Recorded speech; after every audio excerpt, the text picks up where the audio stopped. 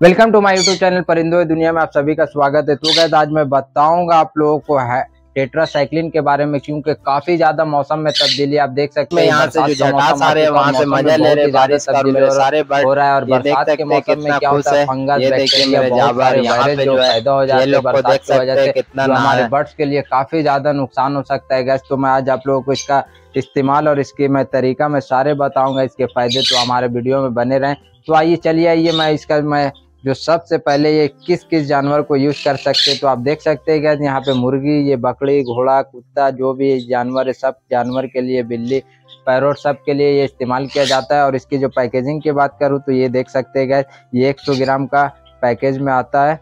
50 M और ये देख सकते हैं, इसके प्राइस की बात करूँ तो ये एट्टी फोर रुपीज़ का इसका एमआरपी है, जो आप लोगों को मेडिकल शॉप में आसानी से मिल जाए, कोई भी मेडिकल शॉप में, जहाँ पे जानवर का दवा मिलता है। तो और इसकी जो ये किस तरह का आता है, देख सकते हैं गैस मैंने ये इस्तेमाल कर चुका ये पाउडर फॉर्म में आता है तो आप देख लीजिए, ये किस तरह का, ये येलो कलर का रहता है, जो बहुत ही,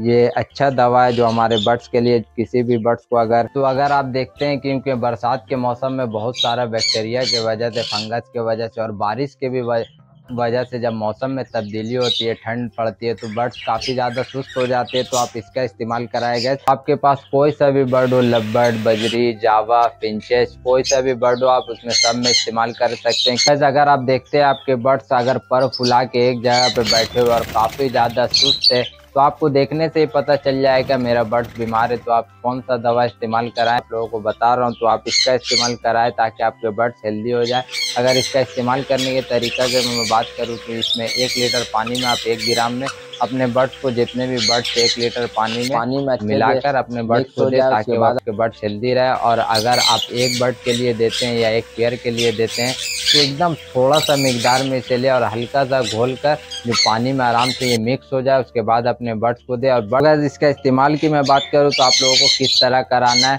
मेडिसन ये मेडिसन देने से पहले केस से जितने भी पानी आपके जितने भी बर्ड्स अगर केज है तो आप केस से पानी को निकाल दें, पानी का बर्तन को निकाल दें और उसके एक से दो घंटे के बाद इसे मिलाकर पानी में अच्छे से मिक्स कर कर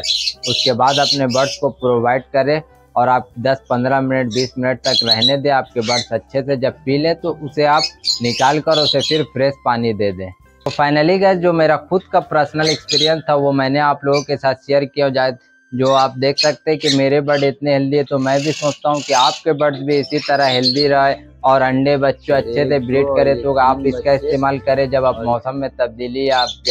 या अपने बर्ड्स को देखे कि काफ़ी ज़्यादा वो सुस्त हो रहे हैं तो इसका इस्तेमाल आप कर सकते हैं और ऐसे भी हफ़्ते में एक दिन इसका इस्तेमाल कर सकते हैं ताकि आपके बर्ड्स को किसी किस्म का प्रॉब्लम ना हो। तो गैस मैं बर्ड से रिलेटेड वीडियो आप लोगों के लिए इसी तरह लाता तो रहता हूँ। फाइनली गैस अगर आपको कोई सा भी क्वेश्चन हो बर्ड से रिलेटेड तो आप हमसे कमेंट में पूछ सकते हैं। तो मैं आपको कमेंट में ज़रूर रिप्लाई दूँगा। तो आज का हमारा वीडियो आपको कैसा लगा ये भी कमेंट में ज़रूर बताया और मैं फिर हाजिर होता हूँ एक नए टॉपिक एक नए वीडियो के साथ। जब तक अपने और अपने बर्ड्स का अच्छे से केयर करे और मुझे दुआओं में याद रख। के चलता हूँ अल्लाह हाफिज।